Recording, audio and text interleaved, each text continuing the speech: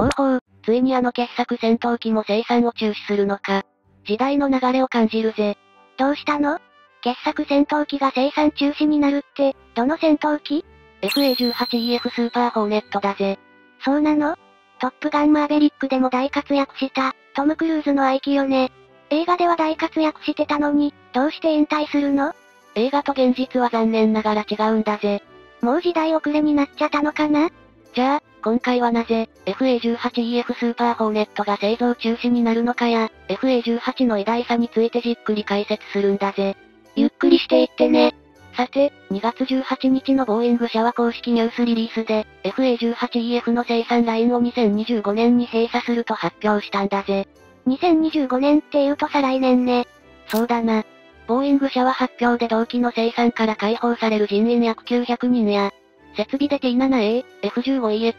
777X の主力部品、MQ25 の増産が可能になるとも言ってるんだ。ふむふむ。今も FA18 の製造は続けてるんだ。アメリカ議会は2023年度の国防権限法に8機の調達約6億ドルを盛り込んだため、少なくともその分は製造を継続するんだな。今は、アメリカ軍だって、少しでも多くの戦闘機が必要なんでしょ？もっとたくさん作ればいいのに。確かに FA18 は傑作戦闘機ではあるんだが、もともと米海軍は国防予算の削減を受けて2014年に FA18EF の調達を打ち切る予定だったんだ。あれ、ずいぶん前に米海軍は製造を中止させようとしてたように聞こえるんだけど。実は、その通りなんだぜ。米海軍は10年前から FA18 の新規調達を打ち切って、実艦上戦闘機 FAXX に資金を回したくてしょうがなかったんだけど、議会の反対でそうできなかったんだ。ほうほう。昨年も12機の FA18EF を買うことになり、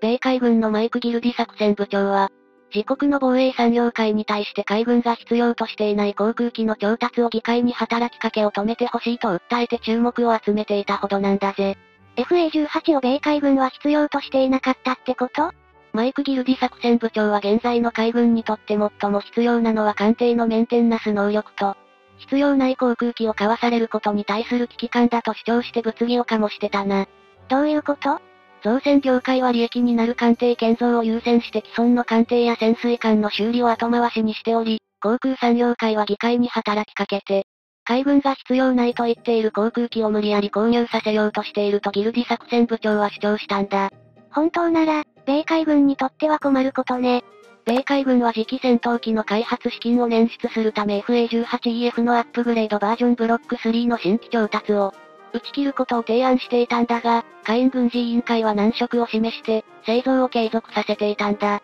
現場の海軍が不必要だって言ってるなら、どうしてそんなことに？ありていに言うと、ボーイング社のロビー活動が成功してたし、米議会は次期艦上戦闘機 FAXX 計画がスケジュール通りに進まない可能性があると考えてるからだ。ロビー活動？ボーイング社から見れば、どうなるかわからない FAXX 計画を進めてもらうより、FA18 の製造を続けた方が確実に儲かるから、当たり前だぜ。ふむふむ。年間10機程度の製造だって1000億円以上のビッグビジネスだからな。でも、今回の製造中止はボーイング社側からの発表なんでしょ？そこが面白いところだな。バイデン大統領と米国防総省、及び米海軍は、FA18 の製造を中止して、次期艦上戦闘機 FAXX 計画を推進するように要求してたんだが、これに反対して法案を通さなかったのが米議会だったんだ。ふむふむ。ところが、今回は米議会が反対する前に、ボーイング社がもう FA18 は製造中止するよ。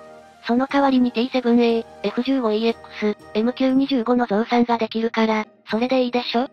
て言っちゃったから、米議会は面目が潰れてしまった格好とも言えるんだぜ。どうしてボーイング社は利益の確実に見込める FA18 の生産を中止する決断をしたの ?F15EX や MQ25 の将来的な需要が確実になってきたのと、ギルディ作戦部長やその他の米海軍の要人の発言に、これ以上ロビー活動を続けるのはやばいって思ったんじゃないかな。ほうほう。米海軍の構想は、新機軸に乏しいが披露した既存の艦艇や航空機の保守に大規模な資金を投じているため、目立ちにくくても確実に戦力の底上げにつながる内容が多いんだ。ボーイング社にとっては面白くない内容だけど、目立ちにくくても確実に戦力の底上げにつながるため決して悪い判断じゃないと思うぜ。米海軍は今後、空母の戦闘機をどうしようって考えてるの？空母の航空戦力を構成する F35C と FA18EF のうち2030年代に退役が始まる FA18EF を FAXX で更新する計画だな。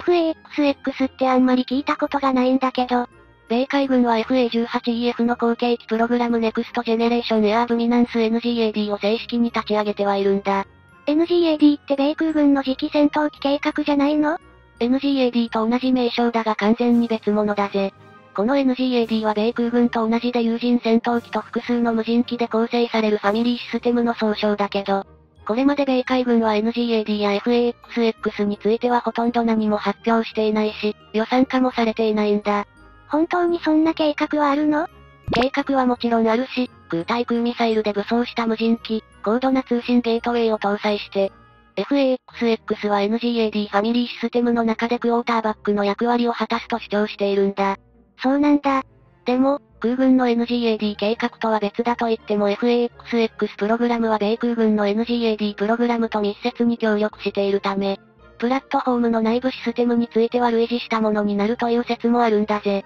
要は現時点では秘密のベールに覆われてるってことね。まあ、ありていに言うとそうなるな。ところで FA18 って今まで何機くらい製造されたの ?FA18CD ホーネットが約1400機、FA18EF スーパーホーネットが約600機で、合計約2000機のベストセラー艦上戦闘機だぜ。と入っても採用国はアメリカ海軍のほか、オーストラリアとクウェートだけだ。ふむふむ。FA18EF スーパーホーネットは見た目はスマートだから、大きさは目立たないんだが、実はかつて大型戦闘機とされた F4 ファントムすらを上回り、空虚重量では F15E ストライクイーグルとほぼ同じ、最大離陸重量でも、大重量の可変力を備えた純粋複座型の F14 トムキャットとそう変わりはないんだぜ。